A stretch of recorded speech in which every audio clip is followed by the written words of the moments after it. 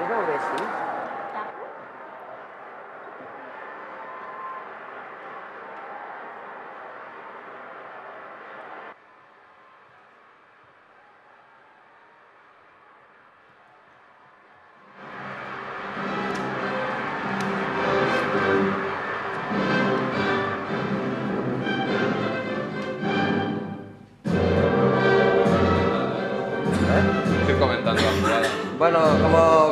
esta banda sonora, la banda sonora empieza con el himno de España acaba con una sardana.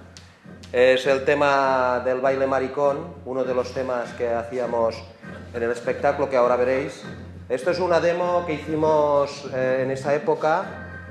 Aquí estamos nosotros. Porque es que los reinos éramos muy egocéntricos, entonces nos la chupábamos constantemente, ¿no? Y este rollo. Entonces hicimos un homenaje, una coreografía de auto. Exacto. Entonces aquí está la Sol Picó, que aún no era Sol Picó, es, eh, que está dirigiéndonos y llevándonos a, a nosotros. Y, en fin, eh, nosotros, yo, yo dejé la Fura en el año 90, entonces un poco ese es el espectáculo que hago después de la Fura. Yo su- supongo que todo el mundo esperaba que hiciera la Fura 2, y entonces salí con esto que fue como un puñetazo en la cara, ¿no? No, no era- evidentemente eh, hay que decir que Los Rinos es un grupo que se forma en el año 85, en el que, formaba, que, for- que formábamos y de hecho seguimos siendo super colegas, eh, Pau Nubiola, Sergi Caballero y yo. Y aquí veis ahora mismo a Les Palau que está tocando la guitarra. Les Palau y Sergi Caballero son los dos directores, dos de los tres directores del Sonar. Es decir, que después de eso ellos crearon una de las marcas más importantes de la ciudad. Y aquí estáis viendo cómo eh, ha nacido Sermar Pau, que nace cantando en plan Eros Ramazzotti, y vamos viendo cómo va creciendo. Aquí de pequeño. De hecho, eh, una de las líneas argumentales de este despropósito es que tenemos que sacar el semen virgen de Sermar Pau para eh, bañarnos en él y conseguir el éxito, porque nosotros estamos a punto de ser unos artistas súper famosos, pero nos ha caído una maldición, que es el manuscrito de Mino Rinolaxia, y hasta que no nos bañemos en el semen virgen, entonces se trata de hacerle una paja a Sermar Pau, que ese es el tema. Entonces Sermar Pau va... Como veis, todo muy políticamente correcto. eh, Sermar Pau se convierte en un cerdo, entonces eh, domestiqué un cerdo vivo. Ah, en principio este cerdo vivo llevaba un pistón, como lo que hago de pizo, pero el día antes de estrenar en, eh, el mercat se puso a chillar como un cerdo. Y entonces eh, Sergi dijo, si, si chilla así yo no actúo, me voy de los rinos. Entonces le metimos al final eh, sin el pistón, ¿no? Pero había un momento que se hacía el porno como un número así un poco de zoofilia, que estaba el cerdo bailando con el pistón, eso era muy bueno, y la sol picó moviéndose delante del cerdo. Se nos escapó en Murcia, por cierto, el cerdo, una vez. y y allí en medio del escenario. Eh, aquí está el árbol de las niño muñecas muertas. Este trozo es una zarzuela que cantamos. Y finalmente, puesto que la madre se enamoró de un Edipo ahí, la madre se enamora de su hijo, para que no, no se pegue en el loten, la matamos y así eh, nos ahorramos la posibilidad de que, de que Sermar Pau eh, eh, folle con su madre, ¿no? Aquí de nuevo otro acto de afirmación de los rinos con unas banderas de nosotros mismos. Probamos de sacarle otra vez el semen, no sale. Desde el más allá, la, madre de Sermar Pau, Margarina, convertida en un fantasma, le llama. Veis aquí que el cerdo se vuelve ya en hombre a través de esta especie de, máscara cerdomórfica. Aparecen dos Sermar Paus y finalmente se da cuenta que está muerta. Sermar Pau quiere morir para ir a en el territorio de los fantasmas, de los zo- zombies, pero los capparlans le han dado la inmortalidad, con lo cual no puede morir. Se intenta suicidar y no puede. Total, que finalmente en un programa televisivo consiguen embaucar a Sermar Pau y como veréis, bañarse con el semen del animal. Aquí lo estamos viendo. Bueno, todo, todo acaba bien, los rinos recuperan de esto, Sermat Pau muere, se puede encontrar con su madre y su amante, y finalmente los caparlans matan a la muerte, y así es como acaba el espectáculo. Conferencia en Rinolaxia 1991, ya está.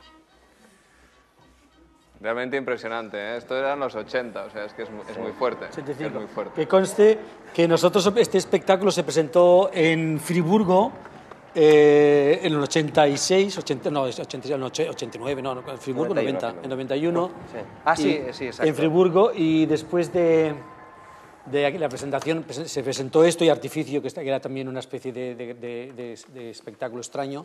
Mm. Bueno, él, era- extraño, este no, este, más- este es genial. Eh, no nos volvieron a programar nunca más. Yo, que hacía No, no, y no solo eso, sino no, no nos cogían, el- que no, no nos cogían el querían teléfono pagar. y no nos querían pagar. No nos querían pagar.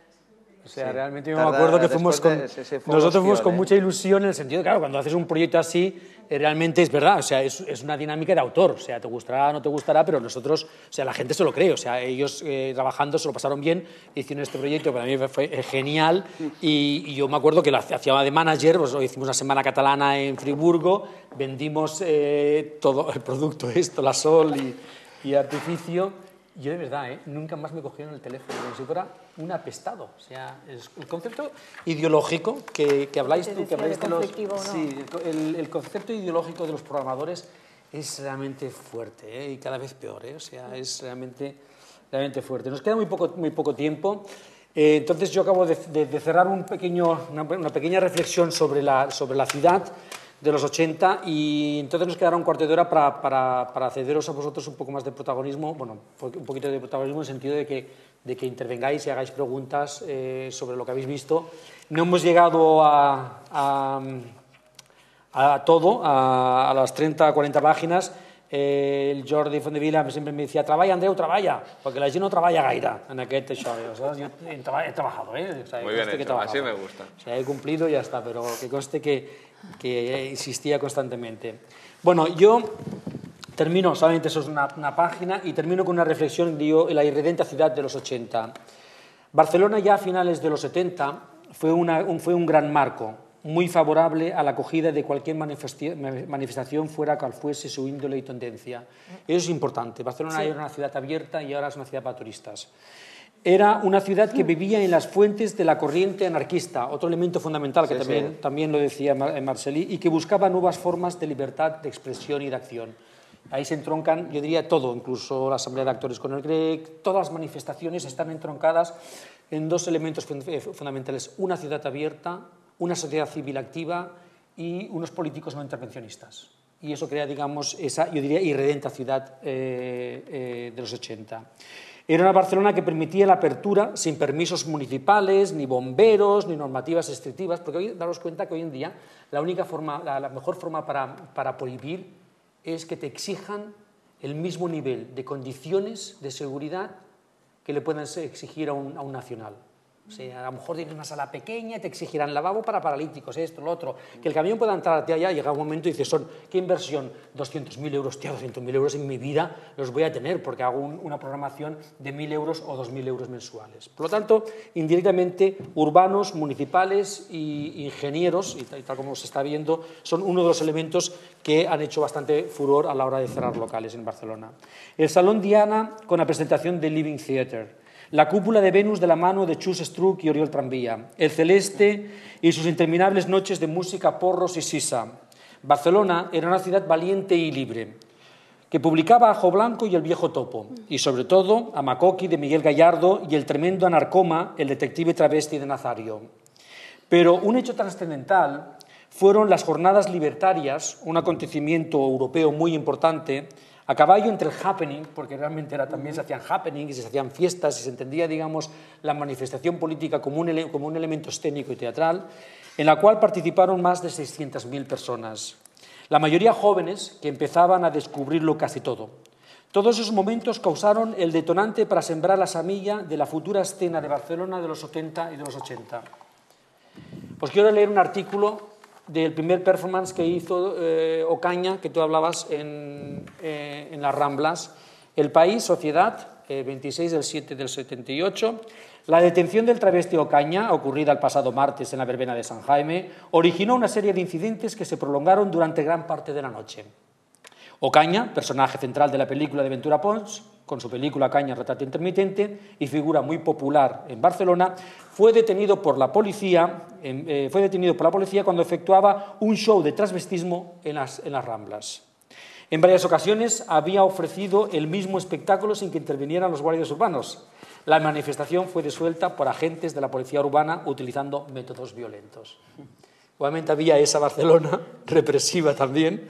O sea, había una estaba clara, ¿eh? ¿Eh? ¿Eh? Estaba claro quién eran. Sí, sí. Estaba muy claro. Estaba claro, sí, El sí. problema es que ahora no. Eh, estaba claro, pero era la Guardia Urbana, que eran todos unos hijos de puta. Hoy en día todavía persisten con las multas y también todavía de esto, pero bueno, igual.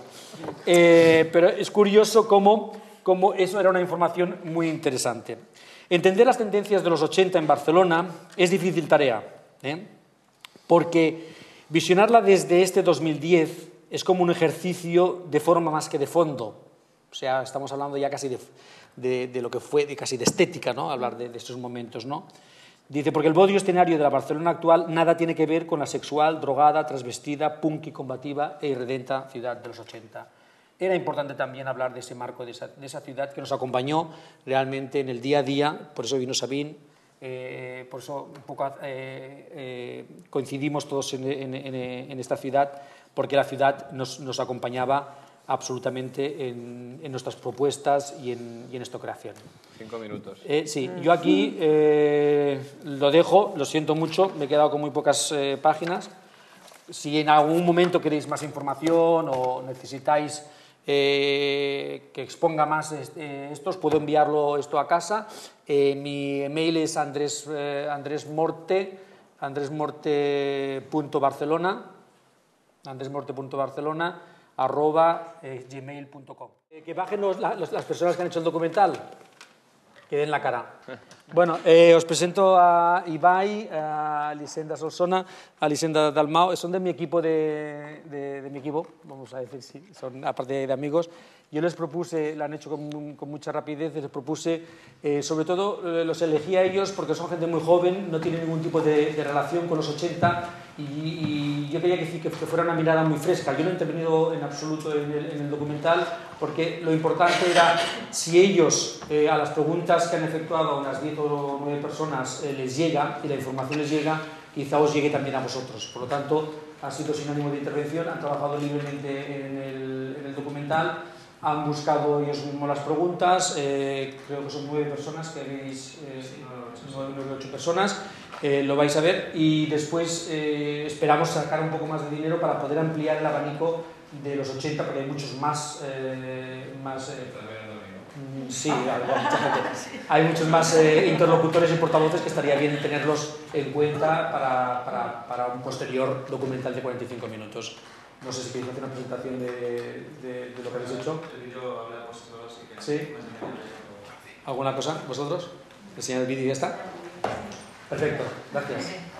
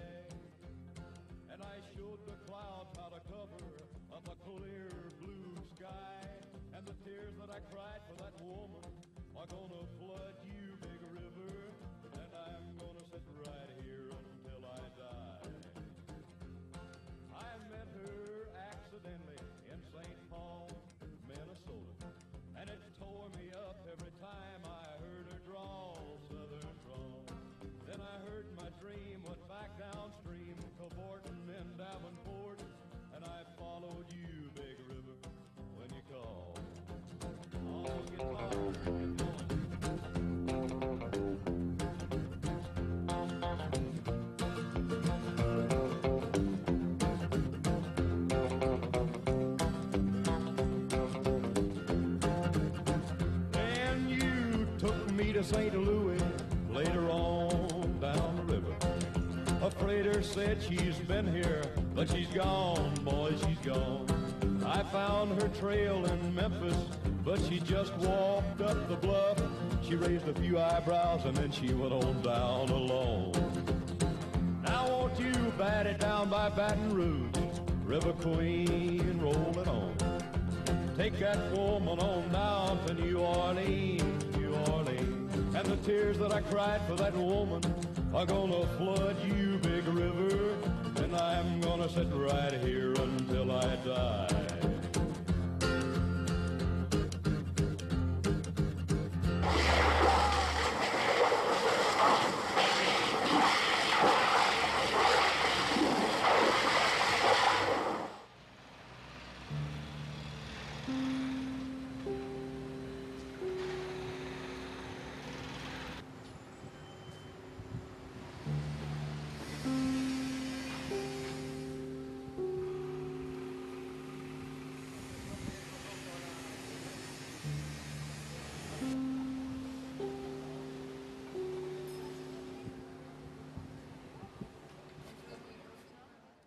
Sí, hay una pregunta acá. Ah, bueno, mi nombre es Natalia, Hola Natalia. soy de Venezuela y estoy en el máster de la UAP. Sí. Eh, primero debo decir que siempre he sentido una profunda envidia por toda la gente que vivió los 80 y los 70, ¿no? Ahora, eh, estoy conociendo como el contexto de acá, pero en Venezuela es lo mismo, ¿no? Tuvieron como muchas libertades de hacer muchas cosas y muchos eh, obstáculos también, y creo que esos obstáculos precisamente hicieron que respondieran de una manera ¿no? Eh, un poco irreverente, un poco pasando por encima de las normas y con una explosión creativa que creo que ahora no, o sea, yo no la siento, digo, en el contexto, ¿no? Eh, del teatro en general, y veo que todas las mismas dudas que me planteaba eh, en Caracas, me, ¡ay! Aquí también está pasando lo mismo, ¿no? Eh, el problema de las subvenciones, la crisis económica, el interés del espectador, la crisis de los espacios, etcétera, etcétera. Eh, de hecho, cuando Marcelí decía, bueno, esto debería ser más lleno. Yo trabajaba en la universidad en Venezuela y organizaba cosas como esta y tampoco pasaba, no se llenaba. Venían cuatro personas, cinco personas, seis personas.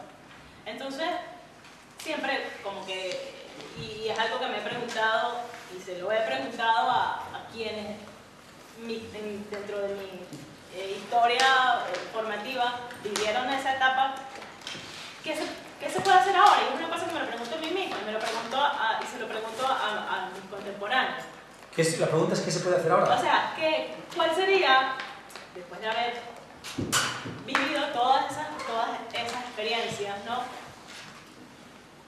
De parte de nosotros mismos, hacernos esa pregunta de cuál es nuestro papel ahora, después que hay, hay, hay personas que ya ¿no? hicieron muchas cosas, cuál es nuestra capacidad de respuesta ahora ante los obstáculos que se nos presentan. Y ustedes, desde su punto de vista, ¿qué, qué es lo nuevo, ¿no? Que se puede como plantear a, a- a la escena contemporánea, quizá viéndolo desde, desde esa perspectiva. Ok. Otra pregunta, así contestaremos eh, tres preguntas, tres personas. Así como más, más. Otra pregunta. Muchas gracias por este espacio de reflexión y eh, tengo dos preguntas. La primera es, si, visto el contexto en el cual vi- vivimos ahora, sobre todo en relación al espacio urbano, si en, en cierto sentido puede volver una reflexión de este tipo, de, de re, eh, salir en la calle una, una otra vez por este... mm, toda la, la... ¿Cómo se dice en español? La- el mundo securitario en el cual somos, ¿no? Del- muchas interdicciones y que si te- tenemos que hacer algo en la calle siempre tenemos que pedir una autorización y, y la- las cámaras de videosurveillance. Entonces, to- en todo esto que es nuevo, puede haber una otra vez una reflexión sobre el espacio urbano, porque parece casi que se acabó en un, en un, en un sentido, ¿no? La, esta ola de, de trabajo en la calle. Yo, yo lo he visto sobre todo en Francia porque hay muchas reflexiones en esto y, y como que ahora casi no hay más eh, energía o un nuevo lenguaje de esto, y en- pero se está buscando porque, porque la- el contexto también eh, lo necesita, necesitamos hablar de eso. La pregunta- queda, queda clara. Segunda pregunta. Sí, sí, voy. Segunda. Eh, La segunda es eh, en relación a la peda- pedagogía, ¿se dice así? Sí, sí. pedagogía. Y la pregunta no es si por qué ustedes no son profesores del Instituto del Teatro, sino por qué... Eso, es eso está diciendo Ampacar, es que es verdad. ¿Por qué hay tanto funcionario y no invitan a unos cuantos más profesores? Es- es- oye, es No, la pregunta justamente no es esta, adelantado, porque no tenía en la cabeza. sino, por- sino si tiene, si, porque yo creo que un, un cómpito que, que la- las generaciones de antes tienen muy fuerte en- es la transmisión del saber teatral y sobre todo la transmisión de ese sentimiento de rebelión que fue en algunas épocas, en otras, eh, en los lugares donde yo vivía, era Italia y Francia, eran más los años 70, que, que los 80 eran más de represión, pero eh, de la transmisión de este sentimiento. Entonces, si ustedes tienen La pregunta, ¿cómo es exactamente? Eleves, eh, elev- eh, estudiantes, alumnos, la pregunta exacta que es cómo se transmite. si ustedes tienen alumnos, Ah, sí, si ustedes son también maestros, Maestros. si transmiten Sí, si saber. transmitimos el conocimiento en alguna, en alguna, en alguna área, en algún, en algún, sí, vale, si transmitimos la el pregunta, conocimiento. pero no es al instituto. Transmitimos, sí, transmitimos el conocimiento fuera del instituto. Vale, el conocimiento. ¿Qué Gracias. respondería o hacemos otra? No, no, hacemos esas tres. Eh, ¿Quién responde a las, a, a las dos preguntas? ¿Sí? Bien, pues hacemos cuatro. Sí, somos. Ah, quería saber, una vez el tiempo de la inocencia acabado, ¿cómo os habéis organizado para, entre comillas, sobrevivir o continuar un trabajo que una vez, una vez el impulso acabado pueda continuar, pueda continuar sea ordinariamente, sea intelectualmente? Y, y si para vosotros ha sido un mantener eh, el impulso original o si se trataba de continuar a crecer y de continuar a buscar. Reflexión a nivel de lo que decía Paco al final, dice, eh, nosotros lo pudimos, o sea, nosotros lo hicimos, debía ser más fácil. Y me venía la pregunta de si realmente era más fácil o es que cuando un problema ya ha sido resuelto parece mucho más fácil. Y si realmente había tanta gente, o sea, porque lo ves y parece que todo el mundo estuviese en eso. ¿No? Mm, Es esta sensación de decir, bueno, ¿era tan así o no? Es, una, es desde esta pregunta de desconocimiento de decir, ¿era tanto todo el mundo que estaba en eso? Y después, ¿qué sensación da? Que va un poco por lo de tenéis alumnos o no, tal y como ha ido todo, hay una sensación de haber perdido algo. O sea, vosotros sois profesionales en activo, no es que estemos hablando de... Y hay algo como, yo siento en una parte de la generación de los 80 que a veces se aparta ella misma, una parte de esta generación, ¿no? De decir, ellos han logrado esos espacios, nosotros alguna. No, de- no estoy hablando por la mesa en concreto, ni, No, no, sí, estoy sí. hablando como esta generación. ¿Qué pensabais sobre eso? Sí, porque antes cuando Andrés me preguntaba de la, la herencia, ¿no? Y anteriormente aquella sensación que tú describes está aquí como un bloque de los 80 y Breve, como breve. close the gap y hay algo que está ahí, ¿qué hacemos con aquello? ¿no? Em, yo, en mi caso, hubo un momento de la fisura, no quiere decir me decidí a romperlo porque yo vi que el contexto que se estaba como ofreciendo o que estaba apareciendo ya no había una incongruencia, ¿no? En este momento era como algo que no podía, en mi caso, en nuestro caso, resolverse en la manera, tenía que cambiar los haceres, la manera de hacer. ¿no? Entonces, em, contestándote un poco así, fue como una renuncia en el sentido no de perder, ¿no? pero no de continuar en la manera como habíamos comenzado. Eh, era, eh, no, no era más fácil, éramos más inconscientes. Sí. Eh, Marceli, eh, ¿qué es poco que es? Pero de todas formas, perdona, no, eh, quería decir una cosa muy... Yo estoy más o menos en su línea, que también en un momento determinado eh, corta la compañía, bueno, se corta la compañía porque también decido hacer como otro camino, ¿no? Para seguir aprendiendo y para seguir desarrollando. Pero también quería decir que, claro, para mí el vídeo, que está muy bien, da una imagen muy concreta, para mí, ¿eh? O sea, que es, que es muy de happening, ¿no? Todas las imágenes que se ven, es mucha gente en la calle, mucho happening, mucho... Y eh, para mí no era muy bien eso, había muchos canales diferentes y muchas maneras diferentes, ¿no? Y la verdad es que yo no, yo no, no me siento representada en el, en el vídeo, ¿no? Con Lo que, es, lo que es. O sea, quiero decir que cuando decías tú, pero realmente era eso, realmente estamos, estaba todo el mundo así. Sí, pero ¿sabes qué pasa? Que Elena mete todo No, día claro, claro, pero no. eso nosotros al empezar a trabajar pensamos que claro, Claro, falta una hora claro. y resumirlo realmente. No, a- no, entiendo eso, juego para- entiendo eso, pero quiero Estamos de decir acuerdo, que, de claro, que no es tan, no es tan plano tampoco. Hay muchos juegos diferentes y muchas maneras de hacer diferentes en los mismos años. Si en todo caso siempre es difícil englobar a todos, está muy bien la Claro. reflexión. Barcelí, y queda ahí. ¿puedes contestar a la chica de, de qué podemos hacer ahora? Pero con- una- Ah, no, porque tú, porque tú estás trabajando o sea, ahora también. Claro, yo también Bueno, le ¿qué quería podemos- contestar ahora. ¿Pero qué podemos hacer ahora? Antes lo hemos comentado, ¿no? sí. Antes ya hemos hablado de eso, que es muy complicado. Sí, pero No sé sigue si- siendo un privilegio vivir de tu trabajo. Quizás perdido ilusión por el camino. Tampoco me corresponde a los 61 años que tengo estar tope ilusionada. Te corresponde a ti, quizá mm, más joven, dar los nuevos inputs. Pero sigue siendo un privilegio, aunque por el camino hayas dejado algo necesariamente, vivir de tu trabajo.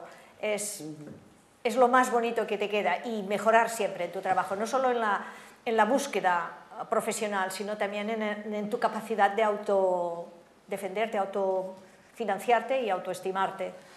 Aunque con menos ilusión, la situación sigue siendo privilegiada. Marcelí, ¿quieres decir algo sobre...? Es que no sé qué decir, tú. Qué raro. No, No, puede ser, más No puede ser. No puede ser.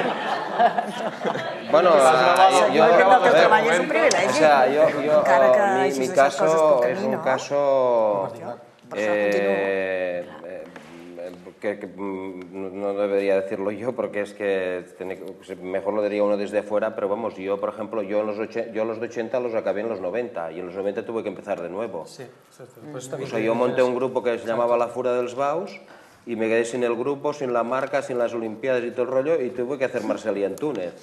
Y entonces ya era otro contexto en aquel momento. Y en aquel momento, por ejemplo, en mi caso, eh, lo que hice fue ajustar lo- el modelo de producción a la realidad que vivía yo en aquel momento, porque yo quería seguir viviendo de aquello. No que quería ser profesor de Claro, los 80, ni claro. quería teorizar sobre lo que había hecho, yo quería seguir, porque tengo una carrera y ese es mi objetivo. Sí. Entonces yo quiero llegar adelante mi lenguaje, en mi historia. Entonces de repente coincidió con un momento histórico que está, de hecho estamos hablando de décadas, estamos hablando de momentos históricos. Es decir, eh, estamos hablando de que murió Franco, de que de repente la historia cultural pasó de Barcelona a Madrid, se abrió la movida, nosotros nos apuntamos a que la movida era periférica, porque estaba Vigo, estaba Barcelona, estaba lo peor imposible de Mallorca, etc.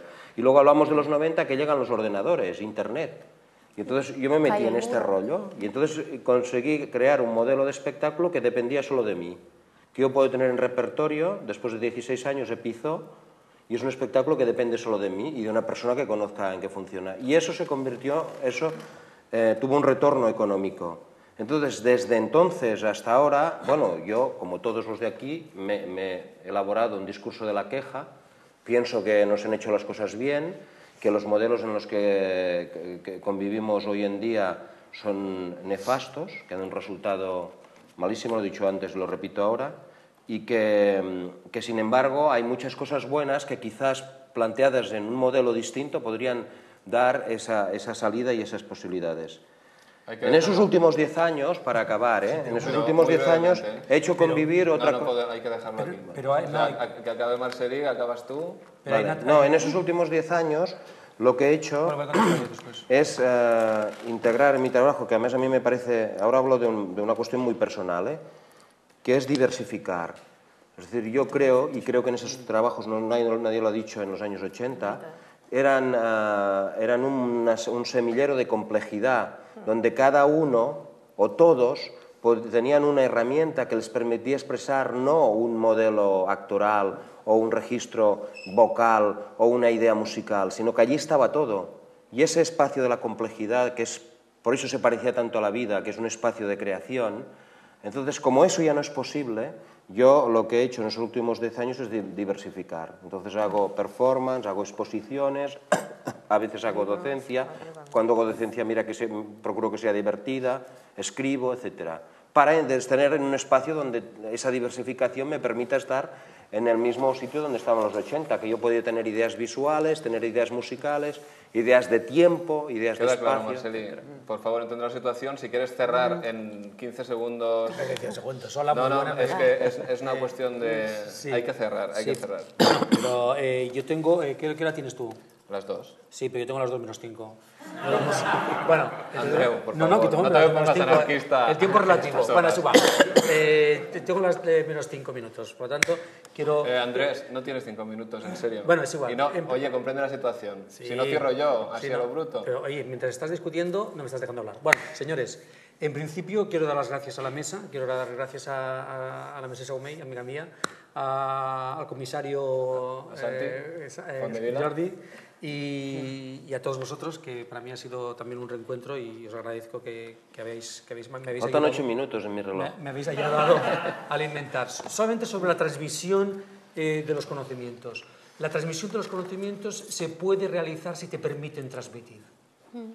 Por lo tanto, eso es tener en cuenta, no es abstracto. No hay transmisiones de, de- de- Una cosa es la voluntad propia y otra es la voluntad de la plaza.